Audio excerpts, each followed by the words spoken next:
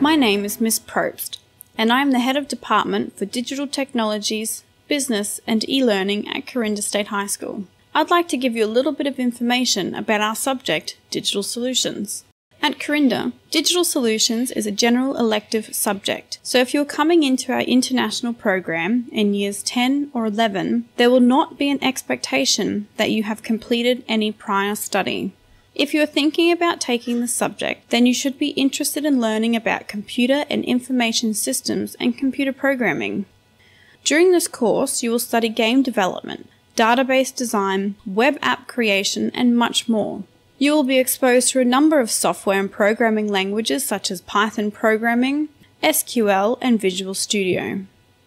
In our Digital Solutions course, you will be required to complete a number of extended written assessment items, including technical proposals, digital solutions, and an external examination. You will need to be able to write well in English so that you can communicate your point of view clearly and correctly. If you have studied computer programming before, then this will assist you in the subject, even if you have learned a different language to what we study in digital solutions. This subject requires skills such as problem solving, logical thinking, and time management. Studying digital solutions at Corinda is engaging, meaningful, and rewarding. We hope you give it a go.